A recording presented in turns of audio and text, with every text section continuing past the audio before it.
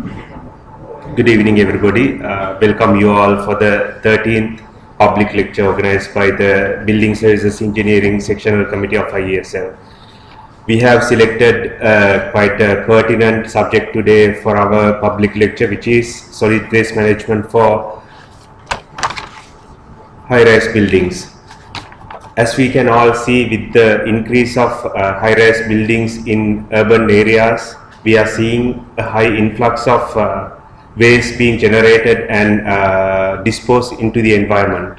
So this amount of waste which may not have been expected for uh, by those local authorities maybe uh, few years back the local authorities may not have expected this amo- this amount of waste being exposed in a highly dense area so with the uh, for these modern day problems we'll have to look beyond the conventional methods of uh, solid waste management if we are to look for proper energy efficient and environmental friendly solutions so to help us and to educate us on such possible scenarios we have invited engineer Ruan Nagavatta to deliver the public lecture today. He is a well experienced uh, engineer from University of Moratuwa with uh, a vast experience in quite uh, different uh, diverse uh, engineering disciplines. He has involved, he is one of the uh, registered consultant for solid waste management in Colombo Municipal Council and as well he has involved in developing quite a number of solid waste management programs for different companies and different local authorities as well and has also involved in conducting the feasibility study for the solid waste disposal project of Colombo uh, Municipal Council, Kerawalapiti and Karadiyana. So without uh, taking more time, uh, I hereby cordially invite engineer Ruan Nagavatta to uh, start and uh, deliver the public lecture today. Thank you.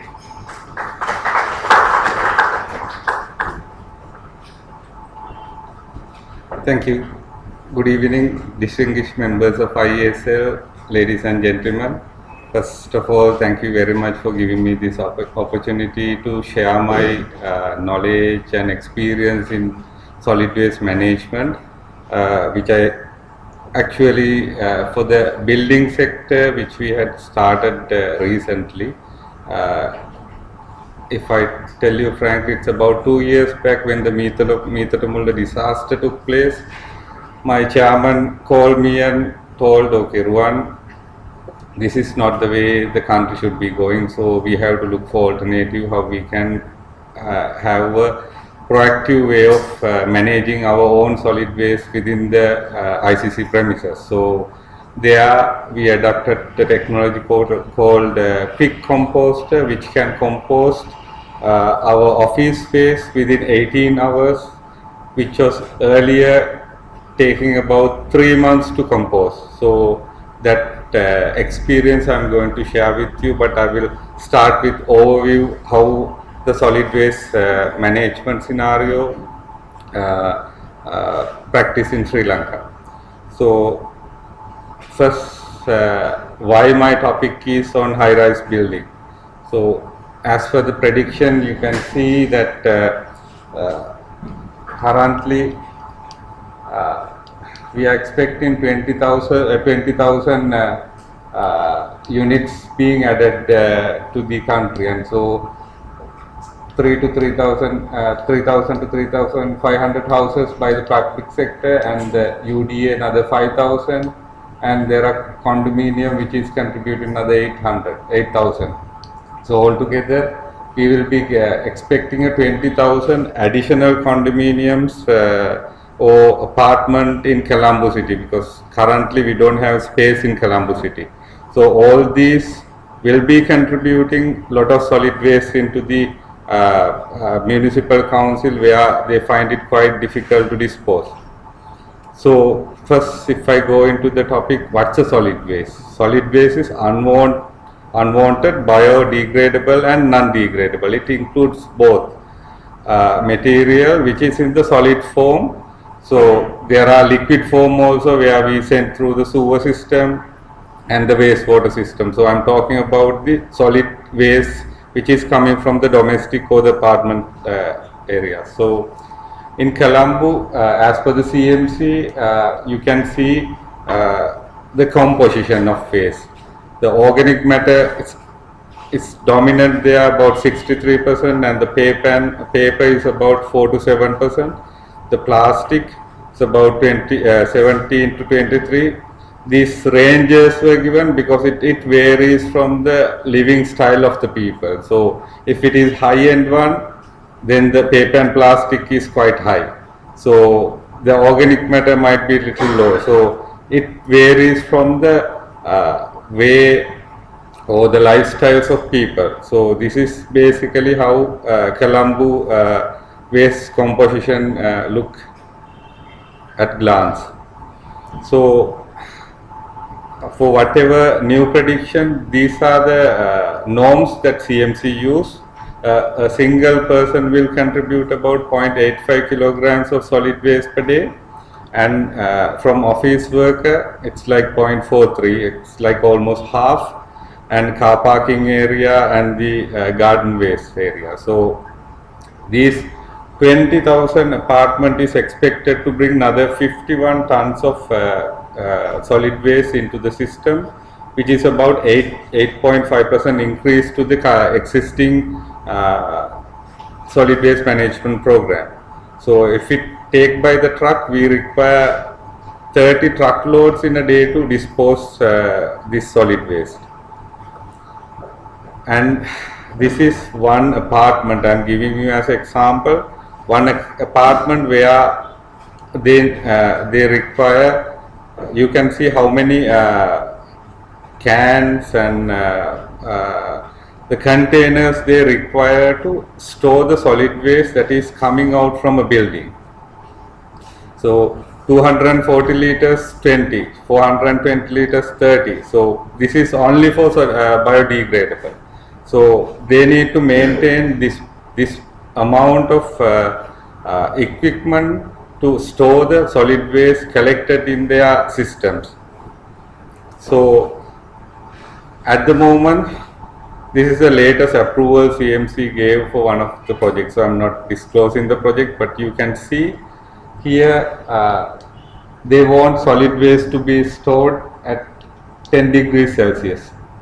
That's mean cold room and it will be taken on a payment basis. So no longer it will be uh, free of cost for any any apartment, and non-biodegradable should be sorted out on a uh, color scheme or the separation scheme that defined by the CMC. So whoever build the apartment in future, they have to have the cold room and their separation facilities to uh, collect their garbage and store it until CMC come and collect it on a payment basis. So the cool room itself will consume lot of energy and money and the capital and the operational uh, aspects where the uh, building owner has to invest additional on these parts. So this is a typical cold room. You can see the flow. It's having uh, it's having all the uh, leachate or the liquids uh, liquids on the surface and bins for uh, store in the biodegradable. And after we kept everything, this is how CMC collected. And once CMC, once CMC collected that one, so you can see this is how it's going to end up. So whatever sorting we do, it doesn't going to solve the matter because they are going to mix it and again put it on to a landfill. So uh, so for a high-rise building, the main problem that we face with uh, solid waste is require large space, which is a sellable space, space for the building. And the other thing is they require a capital investment, the large capital investment, investment for the cold room equipment to be fit onto the building and also the operation. That cold room will consume lot of energy because it keep 10 degrees Celsius all the garbage so that uh, bacteria or any form of uh, uh, algae or anything cannot be uh, developed there. So, and other thing is it generate lot of odor and the even though we store it there when it hand it over to uh, CMC so you can see they are disposing this way. So it is not socially responsible as a as a person who will be disposing your garbage from home. I don't think he would be expecting it is to be disposed this way. Not even it is not close to your house. If it is close to your house you will feel the amount of smell and the other problem that will bring to the community or the neighborhood around it how they face this problem. And the other thing is it, it pollutes the environment it's not only the we, we only complain about the smell and uh, uh, the crow or the other insects coming for that thing but these waste will generate uh, very very uh, harmful substance called leachate. If it leak into the groundwater system, your groundwater system will not be uh, suitable for anybody to cons consume. So that part we are not looking at in any of our uh, landfill places or any garbage dumping places. So uh, this garbage dumping is uh, really uh, killing our environment. Also, uh, high-rise building, they have to depend on CMC. If CMC on strike or if there's a protest against the dumping place or court ruling, uh, whole high-rise building has to suffer because their waste is not being collected due to any of these events. So, at the moment, uh, CMC has following plans on waste disposal. So, if I give you roughly the waste collection generation data in Colombo area, uh, in as a country we have about uh, almost 7,000 tons of uh, waste collected. Out of that, almost 4,000 is uh, uh, collected from Colombo Municipal Council of Western Province. Uh, basically, Western Province. Colombo Municipal Council is almost 2,000, which is generated, but we are collecting only about 1300, 1400 metric tons a day. So this is overview how much uh, solid waste being generated in the country.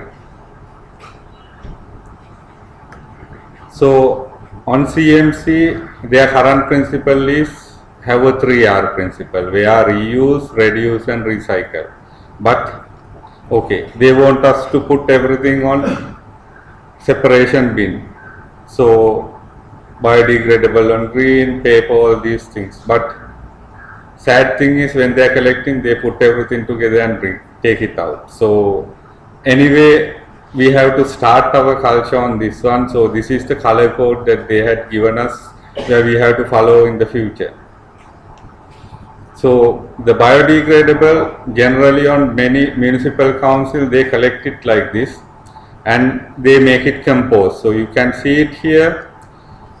This is not a sorted garbage. This is you can see the polythene everything here they are just piling up. So these compost are not suitable for even touching because this this is mixed with all sorts of uh, waste like batteries especially. When they have batteries and all other like harpic or chemicals these composts are not suitable for plants or anything. So we can't just use that one but at the moment this is how the compost is generated in most of the municipal councils where they just pile up and uh, make it steer so that the air movement is there and the compost process is going on but they are not healthy or they are not nutritional enough for the trees. So they send it to the uh, sliver where uh, sieve where where they can remove all the plastic. So when it's come to the final form it look like this.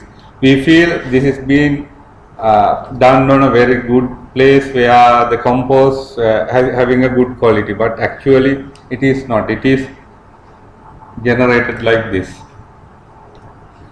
so the problem within the current uh, CMC uh, system on solid waste management is even we segregate, after segregate, CMC collect everything together and dump it on a landfill. And second thing is non-biodegradable waste still being dumped at dump yard. Only small portion they are taking for composting.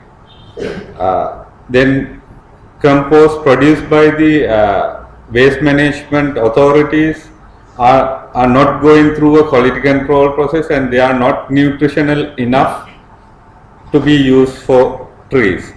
And uh, so basically all these things are polluting our environment. So if you are putting this compo- uh, compost into a tree means you are inviting heavy, met- heavy metals and you are in- inviting chemicals to come with compost to your background.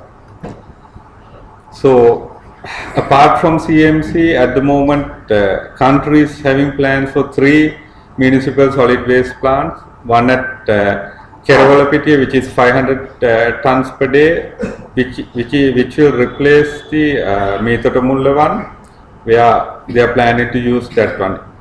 So other one would be coming at Karadiyan, another 500 tons one, the same same technology where it will use uh, incinerator and a bio, biogas generator. And the third one is Aruwakkalu which everybody know right now which is a sanitary landfill. So if I explain you how the incinerator system works, this is just a photo of an incinerator.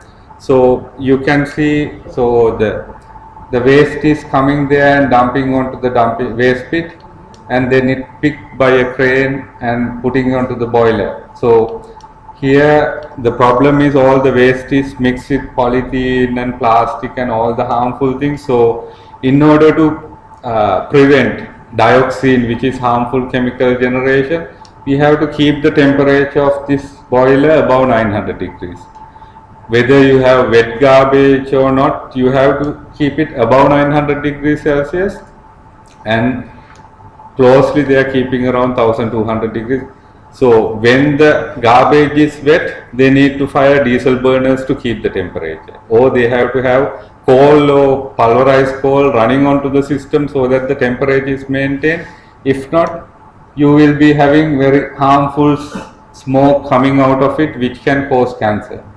So this is the main problem that incinerator system will have on a tropical country like us where you can see last two weeks we are we, we are with heavy downpour where all our garbage are fully wet so in that case the burners will be full time firing here so that it will maintain the temperature down there and it will have ESP which is electrostatic precipitator and uh, uh, they have the lot of gas cleaning things. So the problem is these these items will collect all the harmful particles which is going through with the flue gas.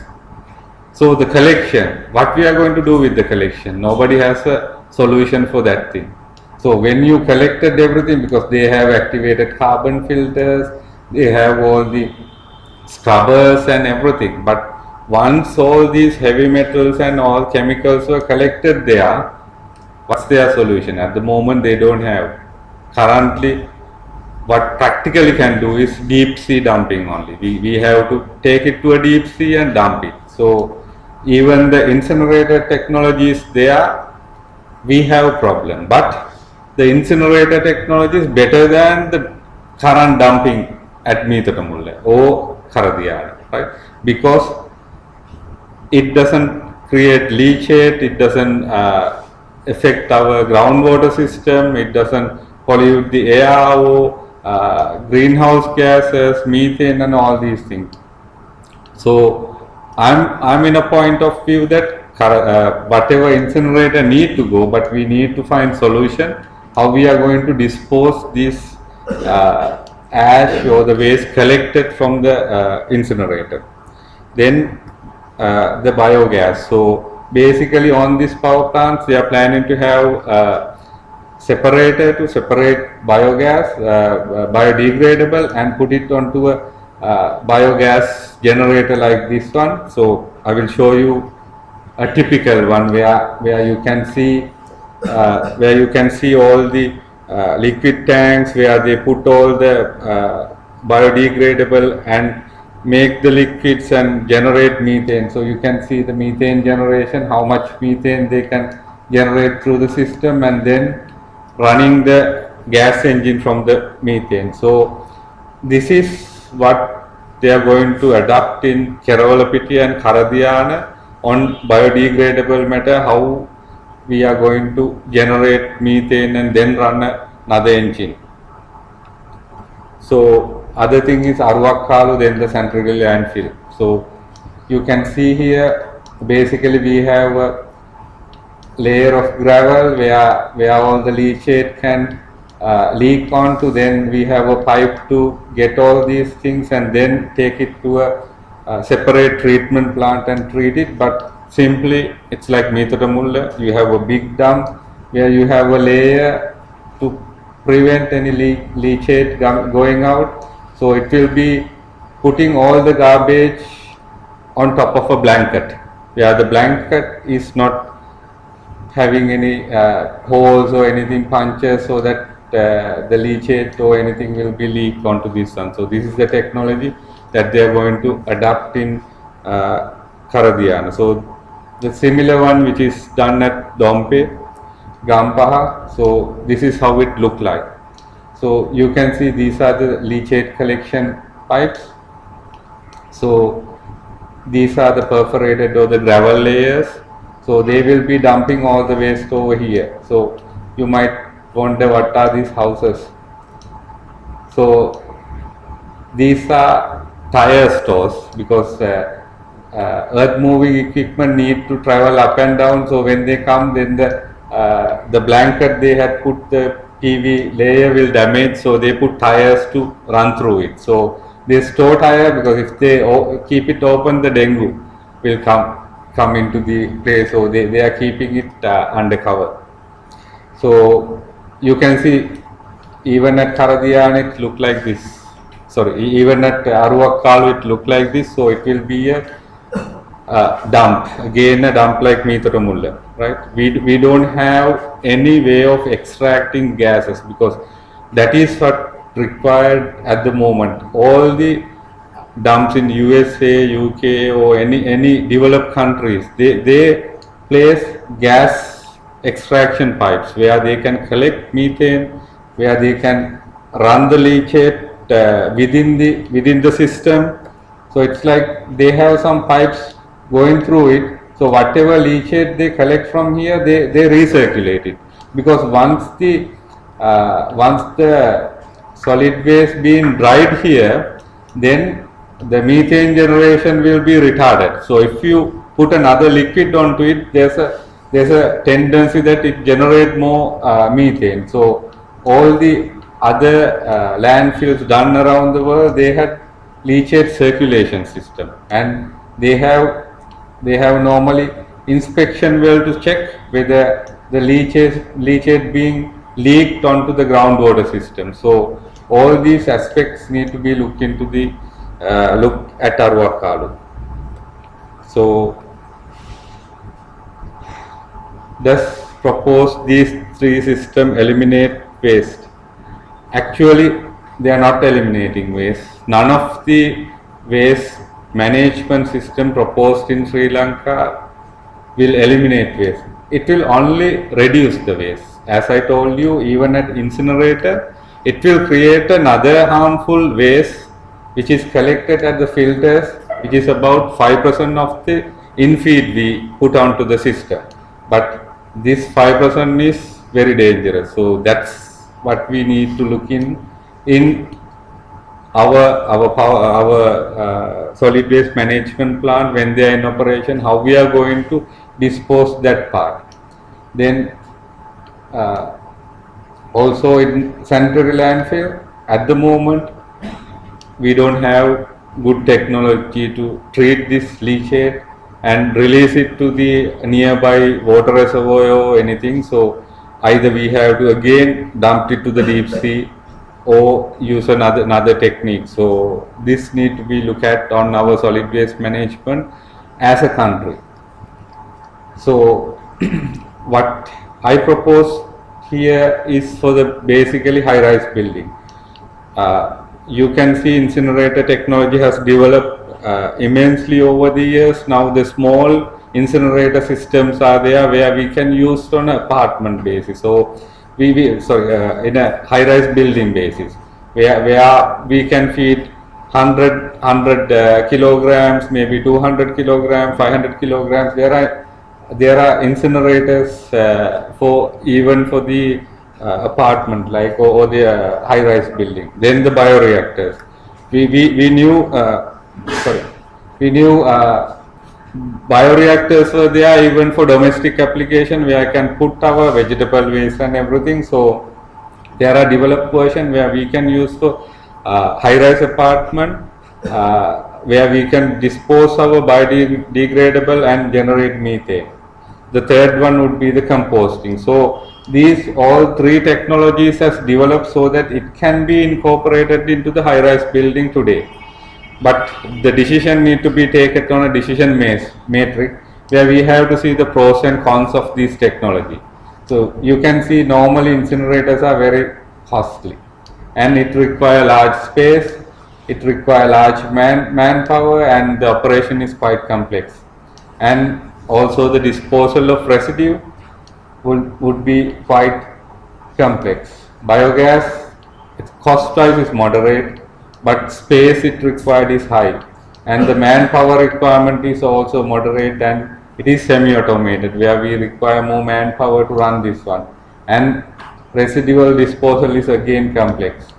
And the composting, it, it's a very low cost application you saw it so people can just dump it on a floor and if you have a good sorting mechanism you don't require much of equipment and the space can be low with the technology I'm going to uh, introduce to you but that can be adapted because we cannot have a uh, normal open uh, composting system for the uh, high-rise building so and this is fully automated technology is available and disposal is very simple. So on the decision matrix, I rate composter having the highest mark and that's the technology for us to use for, for biodegradable. So when we go into the compost, what are the things we can compost? So it includes uh, fruit and vegetable, poultry and fish, eggshells. So you can see all the degradable things we can use, but we can't use these, the larger bones especially. So other things we know they are not uh, biodegradable and other thing is coconut shells and these things we cannot use on a quick composter unless we break it or uh, make it a small pieces so that it go into the system. Then okay we, we talk about compost. What is compost? the compost is a resultant material from aerobic breakdown by microorganisms. So the main highlight here is the microorganism. Microorganism is the one who break down the biodegradable into a organic form on a aerobic environment. So problem with the natural composting. So we had we have two composting technologies. One is natural Normally a good composting process will take about 3 to 4 months. It attracts pests and smelly, uh, it having high leachate generation. If you go for any of the CMC or the uh, uh, composting uh, manufacturing places, you can see they have a special canal made for uh, leachate collection and send it to a, another another roadside canal or anything, right? and other thing is uh, difficult to handle indoors. So if it is a Colombo city apartment, we can't have a natural composting system. We require large space and it, it it's uh, labor intensive. Then there's another technology called quick composting. So so it can compost within 12 to 8 hours the total biodegradable we feed in. So this is how the cross section of bio uh, quick composter. So where we will be feeding feeding all the organic waste from top. It's having agitator like item which will be rotating all the uh, biodegradable so that it get good air mix. We have airflow coming in and the the temperature or the high temperature will be take, taken off from there and we have heater banks there. So this is to support bacteria for their growth. So I will be explaining it in detail. So this is basically a cross section of quick composter. So for a quick composter to work, these are the basic item we need to provide. So it requires adequate oxygen. The moisture content of infeed should be 40 to 65 percent and particle size should be maximum 2 inch and it it need to have some microorganism and CN ratio. Basically CN ratio means carbon to nitrogen ratio it should be 25 to 1 or within this range right? So the minimum is 25 to 1 I will explain you why we require uh, this uh, ratio uh, for composting. So these are the uh, these are the bacteria that we are talking about. So this is natural form. This is not a uh, anything we we uh, generated or anything. So if it is a normal composting, so this is what we get for initially for our machines uh, as a bacteria. But we found once it is used, we can use our own bacteria which is available in our compost to operate this one. So on a quick composting, so this is how the heat cycle goes. So you can see we are raising the temperature up to almost 55 and we will be leaving it after that so that the bacteria or the microorganism will carry from there. So, so you can see the composting, beginning of composting will be handled by mesophilic bacteria. They, they operate on until 40 degrees only. Once it is reached 40 degrees, there's a thermophilic uh, bacteria which take over. Because these bacteria can't survive above 40 degrees. So you can see when the temperature goes high, they will make a, their own when the condition become unfavorable, bacteria survive from making their own skin which is resistant to heat. So whatever bacteria they will make their own skin so that they will adapt to the environment. So these bacteria that work on compost they have their own mechanism to uh, safe against uh, temperature. So will quick composting help us on a high rise building? Basically quick composting can be done at the waste storage room on any high rise building. The feeding process is manual operated but it, it can be fully automated also and on the composting you can see we can reduce the infeed to 30 percent only. You, if you can remember on incinerator it goes up to 5 percent but on the composting we we intend to go to 30 percent because that composting will have another use in environment. So we wanted to keep more uh, more material they there to use in the nature and once it composts it doesn't need to be put on a store cold, cold room or any preserve, uh, preserve places. Compost has a commercial value and can operate with only one operator. He, he need to give his one hour one hour for the day for the machine. So this is basically quick composter how the feeding mechanism work. We just have to latch the uh, the bin onto this one. Then you have the buttons on here where it goes and automatically feed onto the system. And this is the once the composting process done these doors will open and we can collect compost from this one. So the feeding and the uh, compost generation fully automated where nobody has to manually take it off or anything so the composter can operate automatically. This is a typical detail, just not highlighting any brand. So you can see a 50 kilogram one, you can see the dimension 6 feet, 2.5, 4.3 feet. This will fit onto any of the waste collection room in any high rise building in Sri Lanka. And it's fully controlled by PLC and it's made with very uh, you know reliable equipment.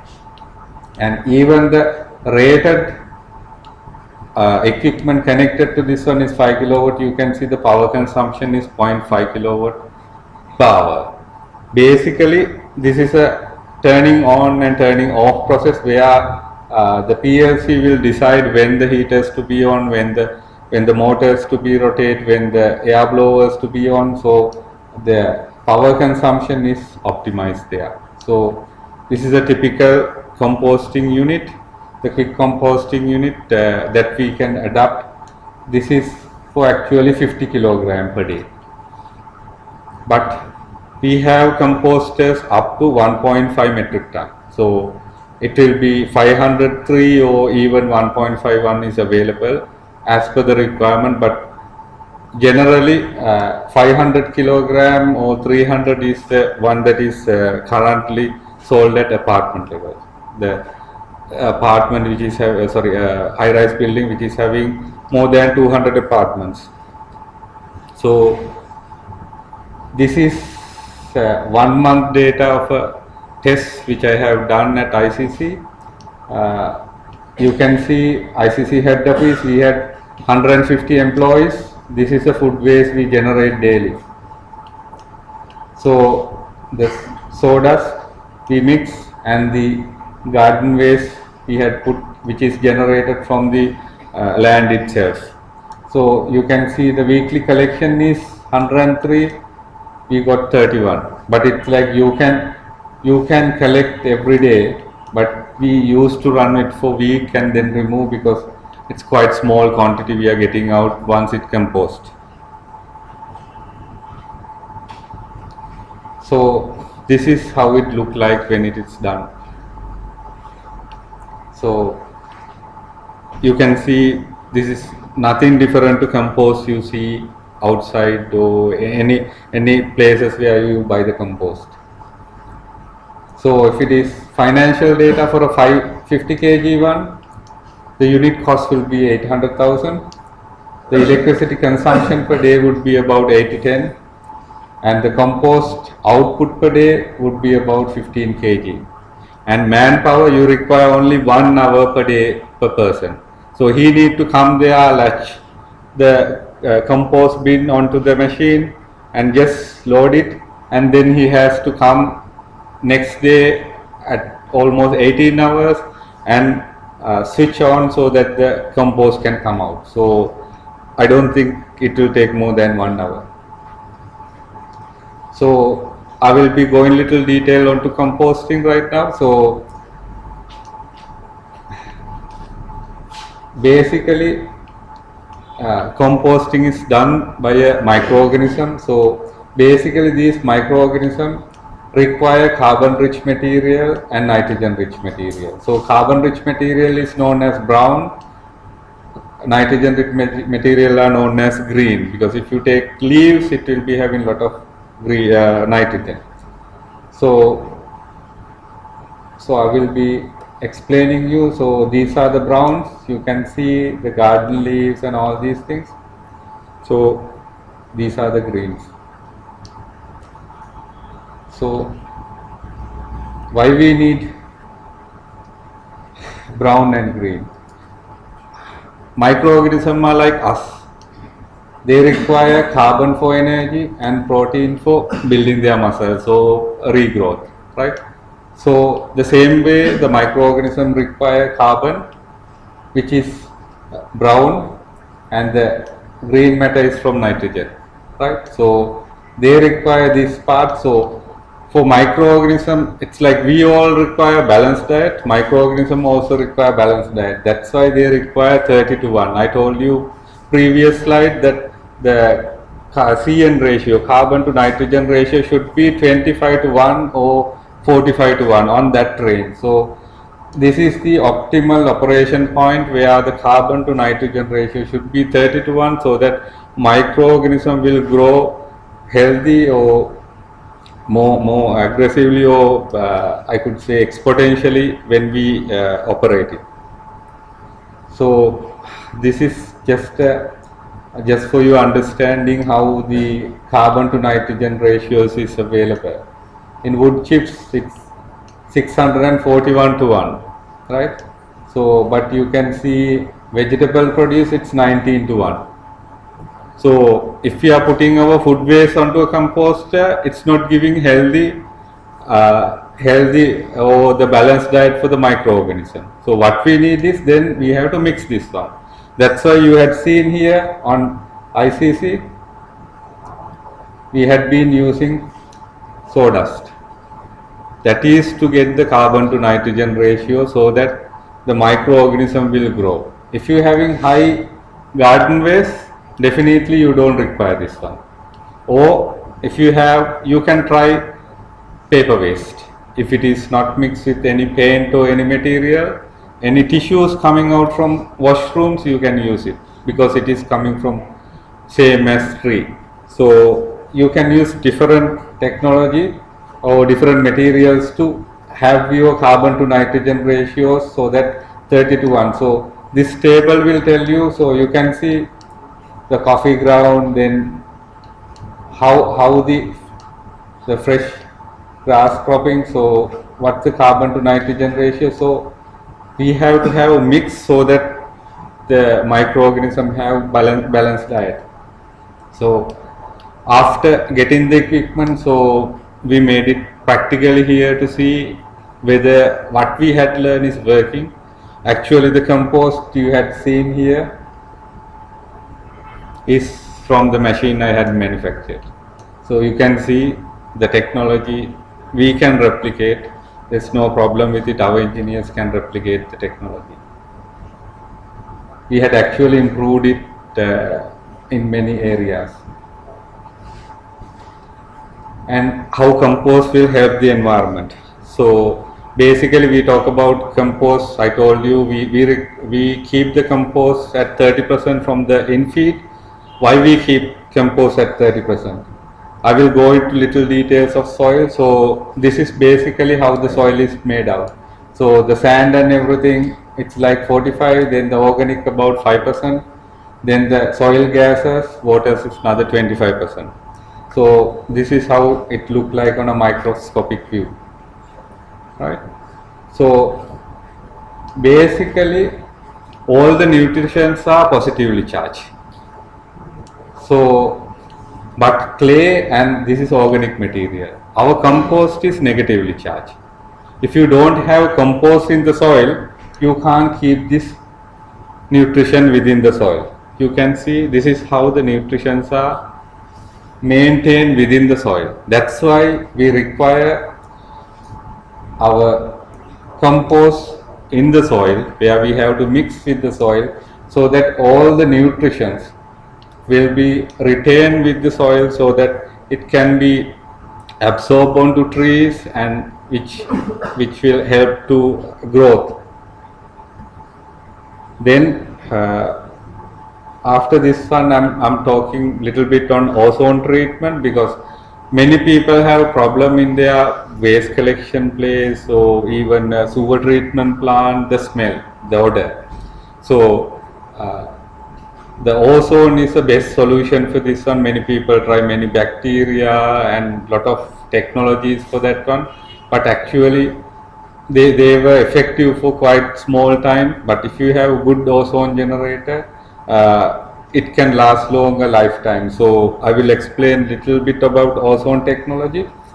So ozone is we know normally oxygen is available in natural form in O2 form. So the ozone is three uh, O3 form. So the ozone is very unstable in nature. So when it come with some uh, come in contact with any pollutant or anything, it try to oxidize and eliminate the pollutant pollutant. So that's a basic technology in ozone odor treatment and beauty is this ozone generator will consume less than 25 watt and normal size garbage room 25 me, uh, square meters can be treated within 1 to 2 hours. But we have to understand ozone is harmful for people if you are exposed for long time. So when you are running the ozone generator it need to be run uh, without people being inside the room. So when you are you can have automatic timer so i will show you how you can do it.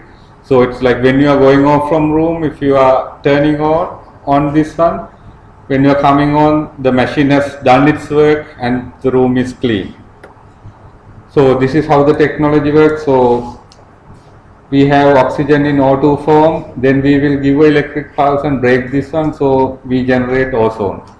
When ozone is there when it see a pollutant or it see any bacteria or anything it react with this one and make it oxidize and it kills the bacteria or pollutant.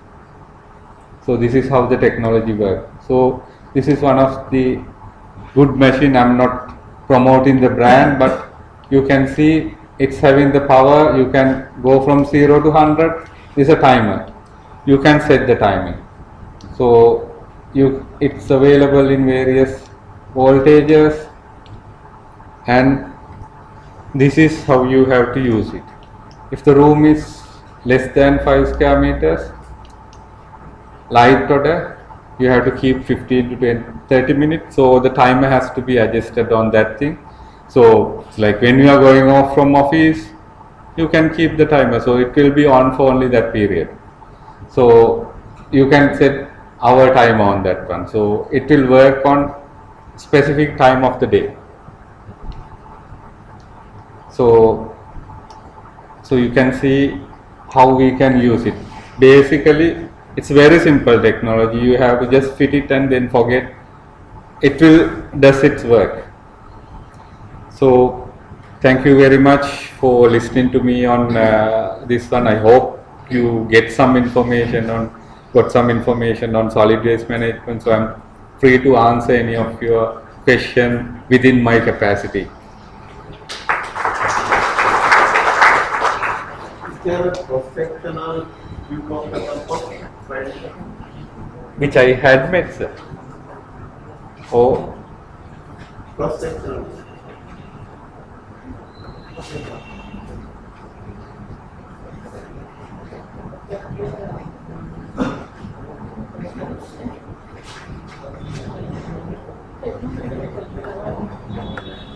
yes sir No, the compost, uh, uh, ready to install compost. Ah. I think it is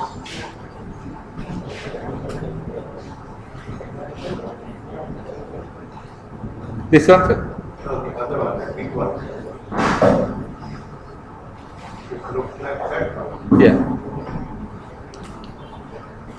Is there a cross-sectional view?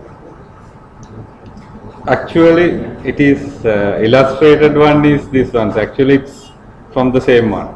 This, this Uh, you very nice and illustrative presentation. Can you explain that you are going to lead that uh, that uh, quick uh, composting? yeah. That is with all kinds of things, glass uh, how, how you separate into only biodegrade? Yeah. Basically, I don't know. The top floors and stains on top. Yeah.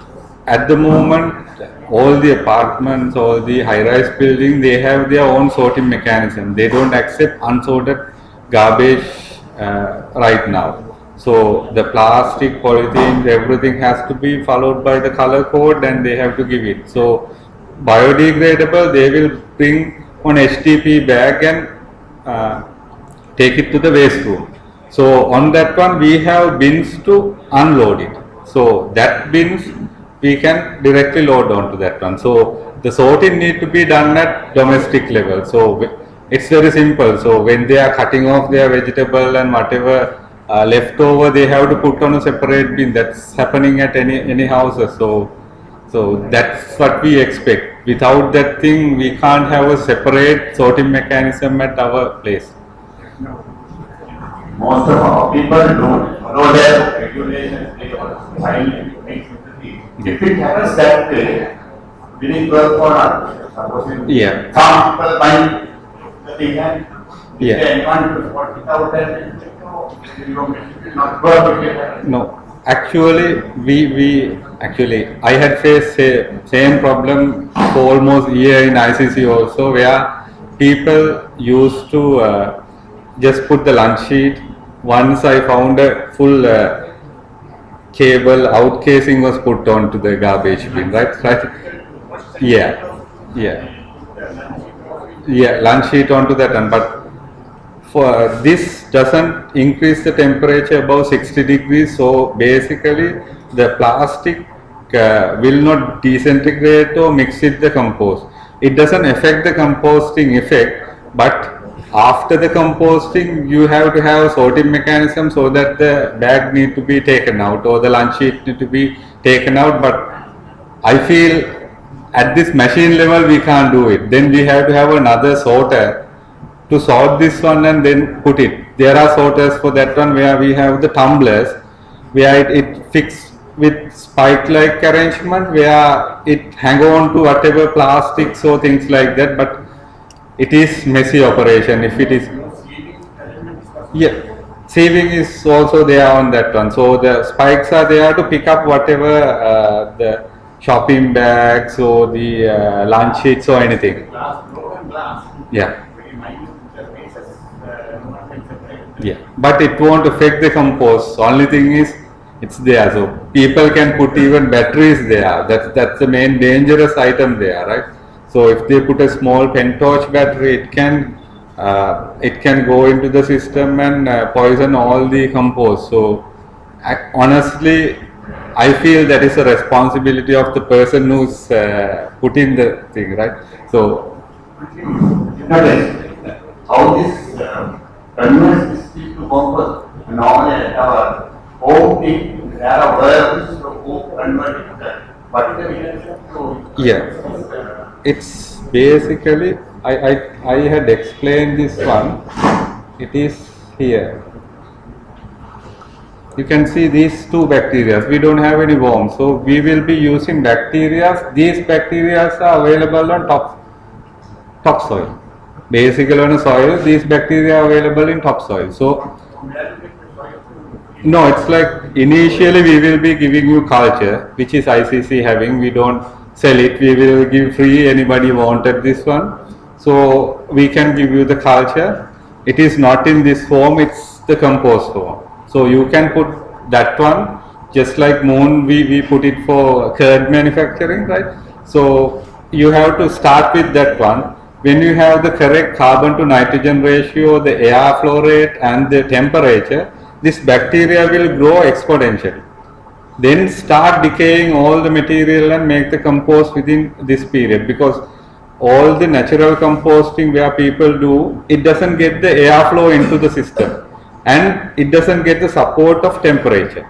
So when you elevate the temperature to 50 and when you have the airflow rate and the carbon to nitrogen ratio, so it will grow exponentially. That's what we do on our compost material. This is aerobic. This is aerobic reaction. Yeah, it's you can see it here. The oxygen is coming here, and it's going through. No, this is basically. of- Uh, uh, I'm proposing this to be fixed on the waste collection room. ICC do that. At that one, yeah, in the construction con- consortium. Yeah, it's like our waste collection place. We have put this machine. So when the people are collecting uh, waste uh, from uh, our canteen, they are just collecting and putting it here. Yeah, basically they are either janitorial staff or the apartment owners will bring their waste to the waste collection room, no? so they have to bring it to that one. Then this machine is available. If not, the previous way they have to put it on a cold room. it's the same way. They have to put the bag onto a bin and then put it in the cold room until the CMC come and collect it. So here we are asking instead of putting onto the cold room, remove the cold room. We had got the exemption from CMC. If you are having a composter, they don't have to invest for a cold room. They have to put their biodegradable waste onto the composter and then the machine does the rest. So yeah. Currently it's working. So I I told you live data. So I had been uh, operating that one for two years until we come on to forum like this one. So that first we need to feel ourselves that the technology works. Then I made a machine myself to see whether it's working, whether the technology I understood correct, and it gave the same result. So that's why we decided to forward it to a forum like this one so that we can carry forward. So talking about economics, so what is the benefit for the, for the apartment complex? Because now we are spraying that to it, Yeah. what is the return? Because we might have it just giving the municipality. So. Yeah, but economics but I, I had shown you at the moment you are already that- Okay, you are talking about the economics for the country. no no no I'm not talking about that thing. So here you can see this is a CM, CMC regulation. So they will they will take you on a payment basis. Even even at apartment they are taking at payment basis, right? And you have to invest for a cold room, right? So you will be incurring cost on this one. So here you get a compost. Once you have the compost, it can be sold to the apartment. Uh, whoever people they are having their own own uh, vegetation, no anything, the flower pots or anything. And at the moment, this good garbage is uh, good compost is having good demand. But here this is not 7 rupees. Normal uh, compost available at any of the shops, it's about 7 to 10 rupees at the moment.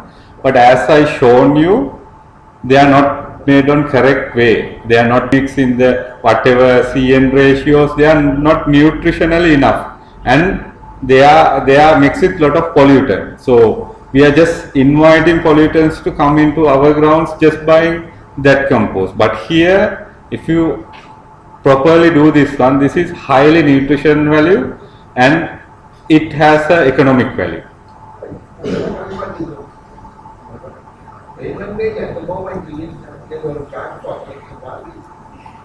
This is every CMC new uh, approval is going this way. This is the approval copy. I'm extract of that one. So you that at the moment they are charging the rates. So the, the rates they are collected in the garbage, that's. Yes, they are they are in, they are in, going to introduce. they are, this is already introduced and this is on the approval they had given. This is the approval letter extract I had taken from there. But it is applying to the existing. uh, No, I, I don't think, but they, they will have some sort of mechanism to do that because at the moment they are incurring a lot of money on this one. So they will be charging all the apartment owners and the uh, high-rise building for their collection. So I'm not telling this is 100% financially viable one. We have to look at many aspects. Okay, it has a commercial value. As engineers, you can see how Meethotamulla collapsed. We should be ashamed of ourselves. We are not giving something, and this is something for the environment also. So if we put everything together, I feel this has some value. We had done at ICC now our uh, municipal collection people come every once in three weeks. Initially, they used to come three times a week because this biodegradable is making a heavy mess on the uh, organization because if they are not collected, smell is going all over the place. So now we can collect our paper and everything. So once we have that thing, paper sold to the recyclers and the plastic, we have separate people to buy it. So once this is sorted out, we, we are giving everything to the uh, recyclers and uh, compost being sent to one of our own estates where we maintain the uh, landscapes. Uh, Yes. Yeah, what sort of an impact will it have when the uh, biodegradable waste comes with a high content of oil and uh, like it has got like molds of uh, fish and meat. Uh, how efficiently will it uh, crafting that crush and what sort of maintenance are you looking at if so?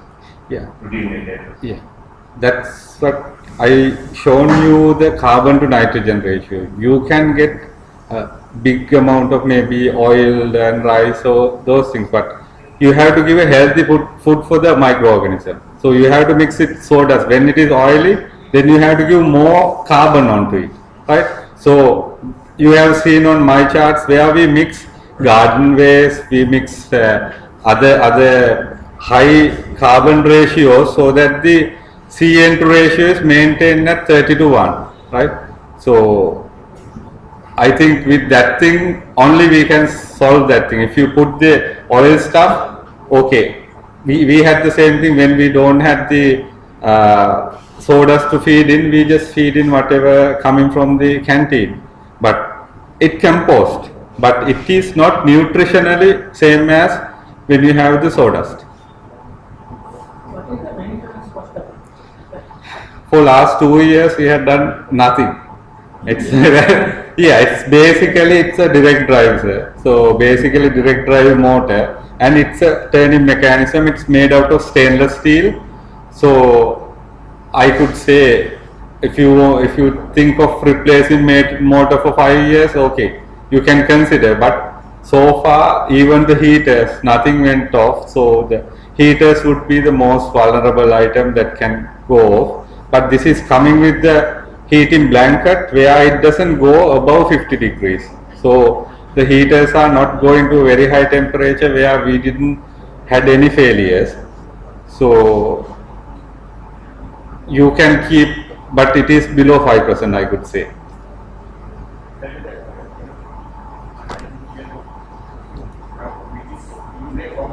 Yeah. Yeah, the waste is compost. So, com- yeah. Yeah, on, on a high-rise building, okay, as I shown you, they have other ways, right? So at the moment, we are not talking about this part, right? Yeah,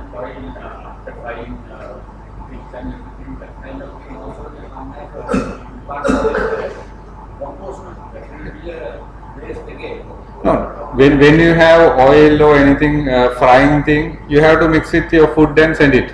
Then the operator at the uh, waste collection room, he, he make the CN ratio correct.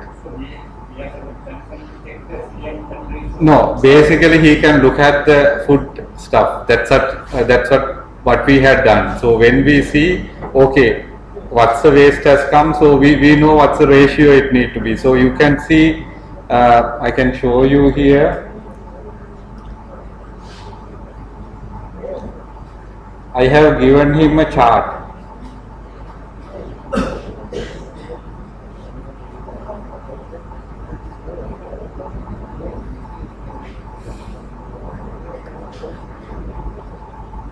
So you you can see here sawdust is not constant. Sawdust is a varying volume. So it, it will so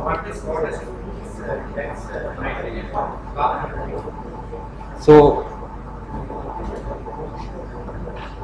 you can see the leaves, straws, paper, sawdust, they are having high carbon. Yeah. So the nitrogen means this one. So the food waste, everything come with nitrogen. So when the oil waste come uh, at large content, then we have to mix more sawdust. So I am adjusting that part. So you can see it's varying. So we had given a chart to him. He can look at and uh, observe the thing. So this carbon to nitrogen ratio is not a constant. So it can start from 25 to 1, 45 to 1. So it in between. So if you provide the 30 to 1, that's optimal. Now you are doing this on a tax basis, answer cost. This is actually daily basis you can take it. But uh, you can you can take the compost daily basis. That means you can feed today evening, next day uh, like noon it's ready. But uh, the machine we brought was uh, 50. It can take more, so we can we can operate for whole week. So we didn't took it out. So we, we operate so that the initial compost become a microorganism for the next batch. So it, it improves the efficiency of the uh, composting.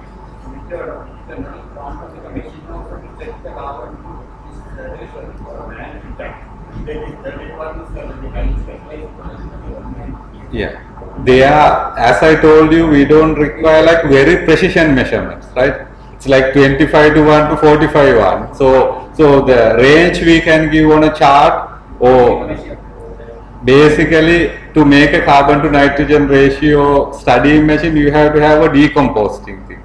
You know, on a, on a uh, a sawdust, you have to find actually how much carbon is there, right? So on a fish bone, it, it varies from fish to fish, how much nitrogen is there, right? So if it is on a meat, it varies. Yeah, that's what I told you. It's it's going on a range, right? 25 to 1, 45 to 1, right? So so and other thing is I have operated this one for two years. So believe me, so our assumption as an engineering judgment is good enough to decide that thing. So if you uh, work on a precision meter, it will not work, or it will be very very difficult for us to do this one.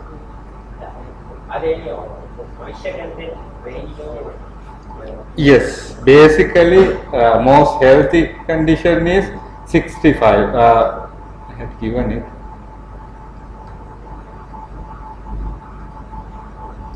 You can see moisture content should be 40 to 65.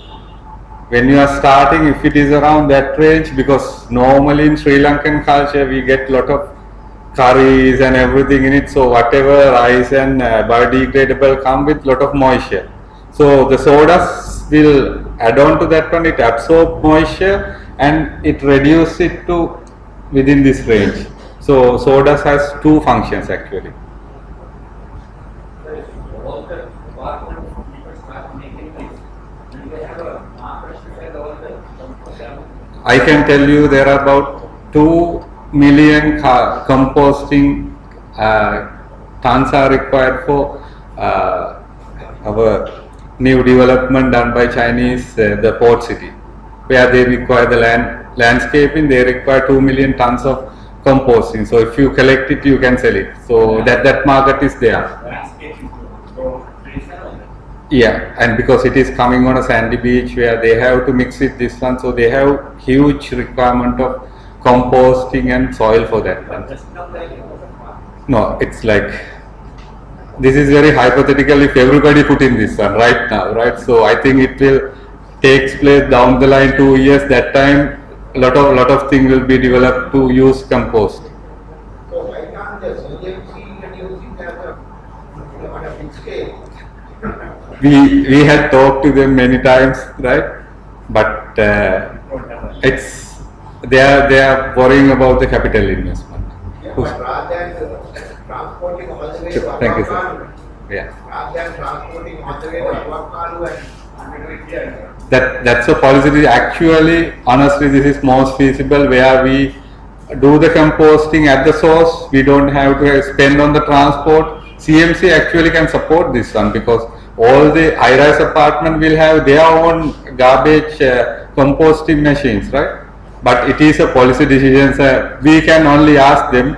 We had uh, done a presentation to uh, Madam Rosie Sena and all the engineers there. Still, the policy decision being not made. Yeah. My question is, in the last two years, in this critical process, Yeah. No. No, basically, as I told you, the leachate is coming when the bacteria is not having enough temperature and the air. So, so then the leachate is generated. That's why on natural process you can see a lot of liquids is coming out. If you have a compost bin at home which is given by any of the council, you can see a lot of liquids is coming out. That is because there's no oxygen, there's no air movement, and the temperature is not there. That's why we are giving temperature and the air movement so that bacteria work more efficiently. Another thing is carbon to nitrogen ratio we are maintaining. So just like us, when we are healthy, we can work more. So the bacteria will work more and it doesn't make any leachate. At the moment, we don't have any problem. Yeah, only only only thing is we had uh, some moisture collection. So that's why you can see, I think I can show it to you. Uh, on my machine, I had done that moisture collection on the bottom. So when we are heating up, the moisture on the food go and condense on the top and then start dripping. So we had a mechanism. So I had improved that one on my machine so that uh, our one is better than what we had imported.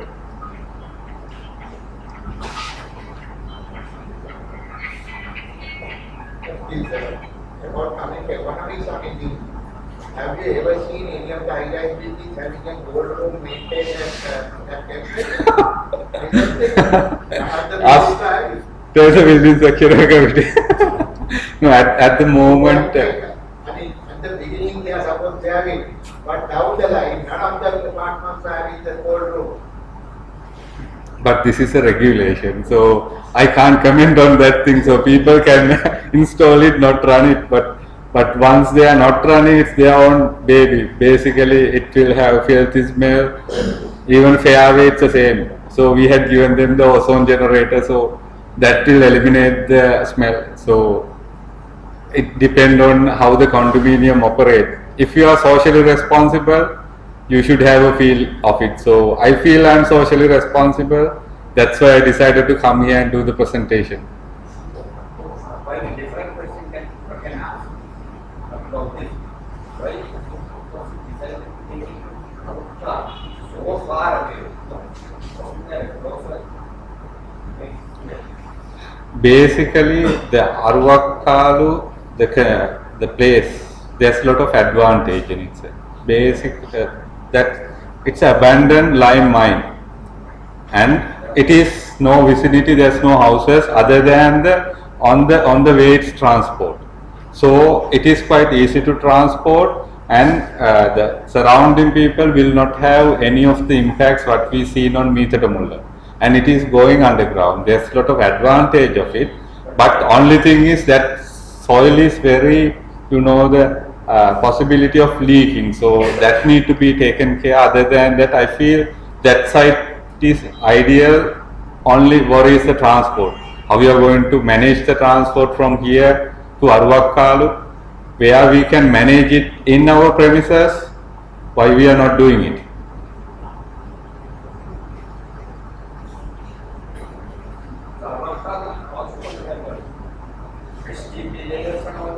Yes, they have. Yeah. Yes.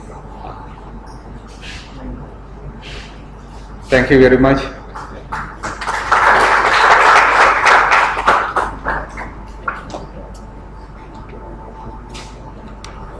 solid waste. That is the major problem that all the all the country as well as whole world is facing at the moment.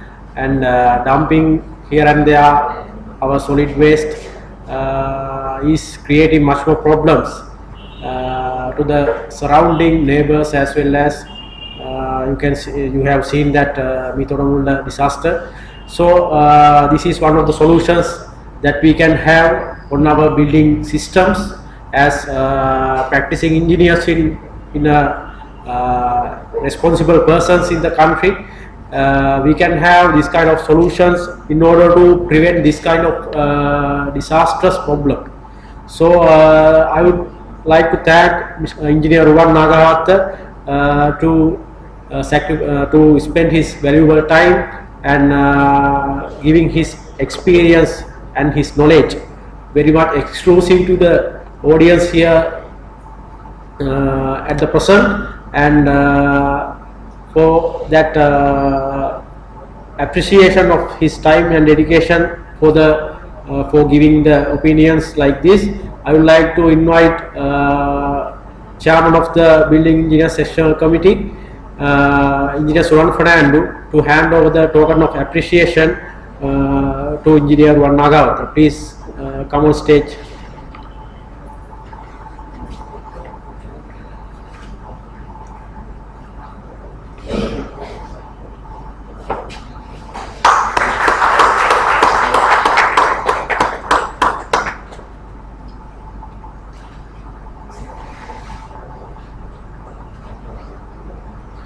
Much, Dineswara.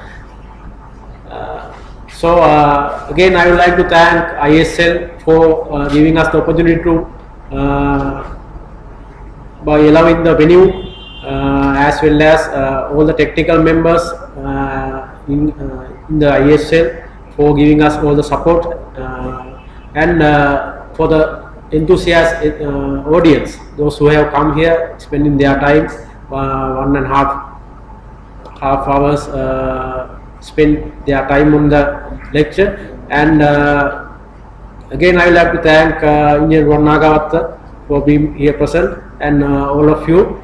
And I would conclude this session. I would like to wish you all a very good night and have a safe drive on your way home